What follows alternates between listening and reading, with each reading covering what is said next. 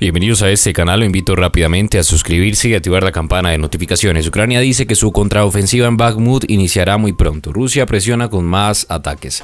No olvide dejar un comentario en este video y un me gusta también para apoyarnos. Muchísimas gracias. El comandante de las fuerzas terrestres de Ucrania aseguró que su ejército iniciará próximamente una operación para hacer retroceder a las tropas invasoras de Bakhmut, estratégica localidad en el este que Moscú intenta tomar desde hace meses. Entre tanto, los militares del Kremlin lanzaron ofensivas a lo largo del país que han dejado al menos 10 civiles sin vida. El ejército ucraniano prepara una contraofensiva en Bakhmut, así lo anunció este 24 de marzo el comandante de las fuerzas terrestres. Según el mando militar, los soldados del país invadidos renovarán su ofensiva en la estratégica localidad del este para aprovechar el impulso perdido de los rusos. Muy pronto aprovecharemos esta oportunidad, como hicimos en el pasado cerca de Kiev. Al referirse a las ofensivas ucranianas del año pasado que recuperaron grandes franjas, la urbe perteneciente a la gran región del Donbass, que se encuentra reducida a ruinas, ha sido el escenario de grandes combates en los últimos meses.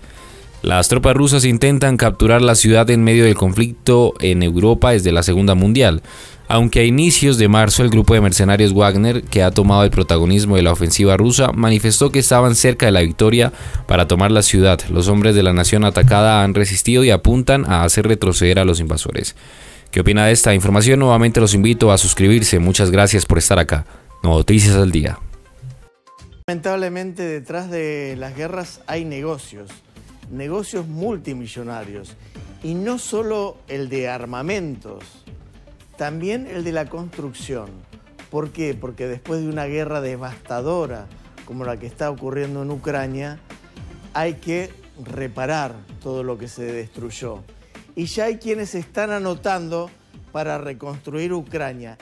Entre ellos, China. Sí, China. El plan Marshall chino para reconstruir Ucrania. Mira.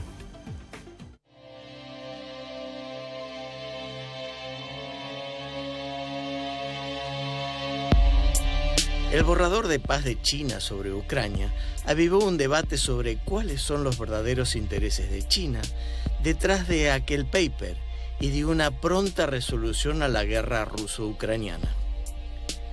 Mientras se tensa la cuerda entre Estados Unidos y China en torno a los rumores norteamericanos de que Beijing estudia proveer armas a Rusia, China responde con una carta de las que más le gusta jugar la de un diálogo que le permita generar las condiciones que le sean más favorables. Pero, ¿qué busca realmente China con su propuesta de paz y sobre todo con el punto 12 en relación a la reconstrucción de Ucrania? En Occidente ya se avivó el debate y aseguran que detrás de la propuesta de paz se esconde el plan Marshall chino para Ucrania una mina de oro en la que tampoco quieren quedar afuera la Unión Europea y los Estados Unidos. En el punto 12, China habla por primera vez de una eventual reconstrucción de Ucrania para la posguerra. Desde hace un año, Rusia y la OTAN, enfrentadas en sus posiciones por el conflicto bélico, nunca hablaron de un plan de reconstrucción en concreto, sino de una victoria de alguna de las partes antes de hablar de eso. China, desde su postura más moderada y cauta, plantea empezar a hablar del día después, del futuro y de la reconstrucción de Ucrania, aunque el final del conflicto no parece próximo. Fue el presidente de Ucrania, Volodymyr Zelensky, quien, en medio de los bombardeos a su infraestructura civil, mencionó el hecho. Зазначити, що коли говорять про відбудову, часто некоректно розставляють акцент.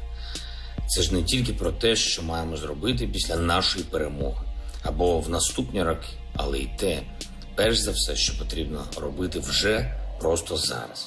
Zelensky, a quien recién escuchamos, emitió opinión sobre el borrador de paz propuesto por Xi Jinping.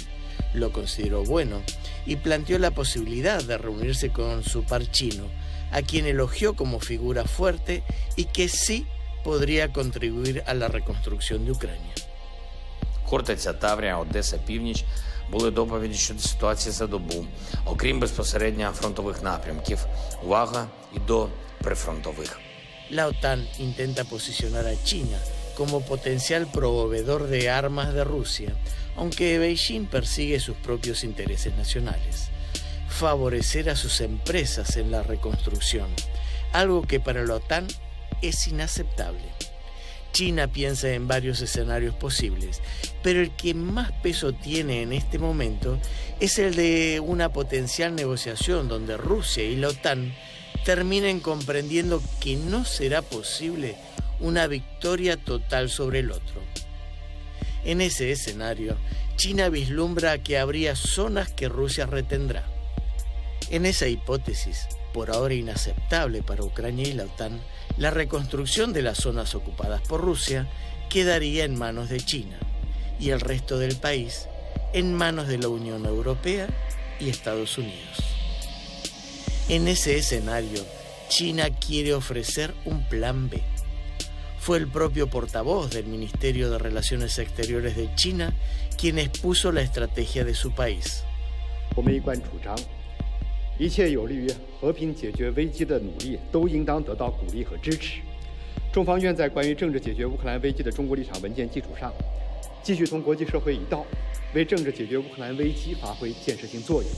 China no quiere dejar pasar la oportunidad de involucrarse en el negocio de la reconstrucción. Sus empresas están superando la dura crisis que atravesaron entre 2020 y 2021. La ventaja de China es que al no ser un país beligerante directo, sus empresas no tienen veto alguno de otros países. Además de sumarse al millonario negocio de la reconstrucción, China persigue un objetivo aún más claro a nivel geopolítico, la reapertura de la ruta de la seda terrestre, pero esa es otra historia y va mucho más allá de Rusia y Ucrania.